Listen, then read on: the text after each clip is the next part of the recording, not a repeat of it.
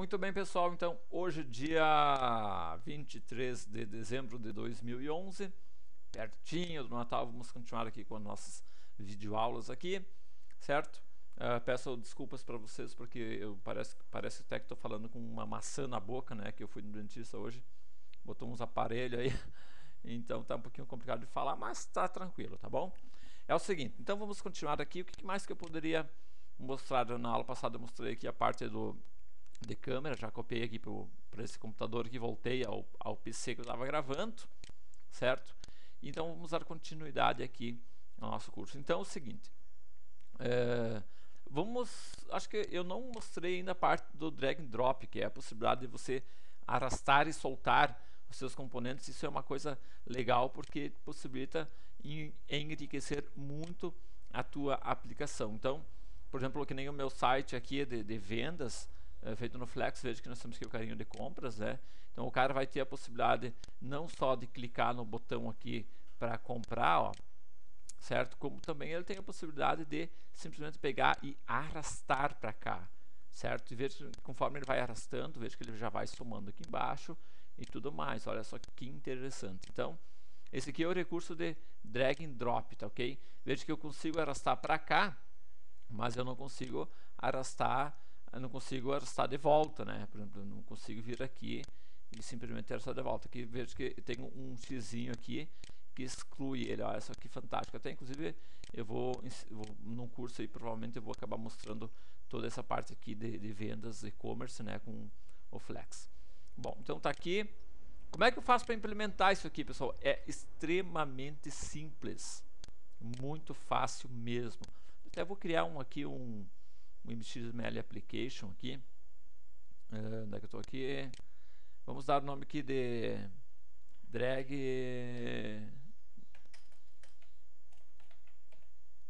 drag drop, certo? Que é então arrastar e soltar. Bom, uh, para mim, para gente não perder tempo aqui, eu criei aqui um, um arquivo modelo só para a gente sempre partir dele. Ele fica mais fácil aqui. Já tem um uma pana, já tenho aqui uma imagenzinha. Então aqui vamos trabalhar com drag and drop, tá ok?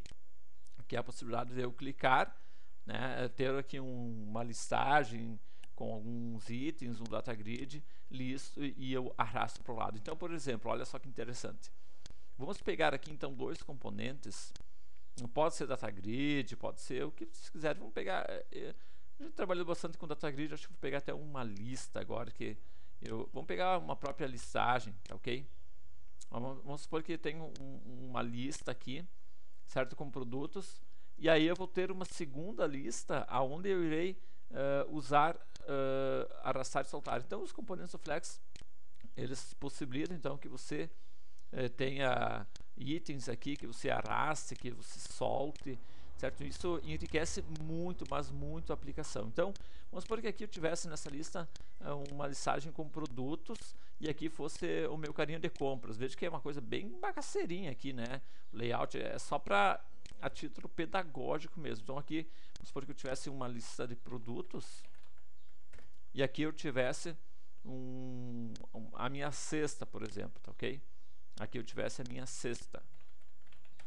Muito bem a cesta de compras e tudo mais. Então, deixa eu só povoar esse cara aqui com alguns produtos.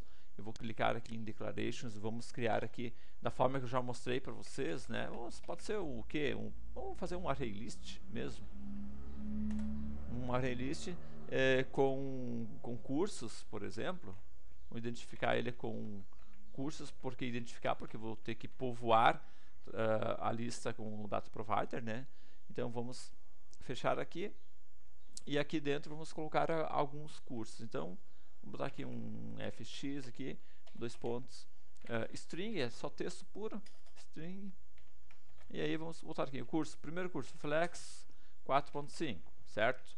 E assim tu vai colocar todos uh, os cursos que você queira. Aqui vamos botar aqui curso de Flex, vamos botar aqui curso de Flex com Java, aqui de Flex com PHP, já estão prontos. Aqui vamos trazer um curso de Java, só Java aqui. Vamos trazer mais um curso aqui de Android, PHP, Delphi e assim por diante, tá? Inclusive Android eu vou fazer semana que vem, certo? PHP aqui e para finalizar, cursinho aqui de Delphi. Bom, terminamos. Terminamos. Não vou botar a lista de todos os cursos que eu fiz, porque aí nós vamos longe, né? Por ver, nem acredito que já fiz tudo isso aqui de videoaulas, já quase 4 mil videoaulas com, com 7 milhões de acessos quase na internet. É bastante coisa, hein? Tudo bem, vejam que uh, eu tenho meu release, claro que para mim povoar esse meu esse meu esse minha lista aqui eu preciso usar o data provider, né? Então vamos uh, fazer com que ele receba um data provider aqui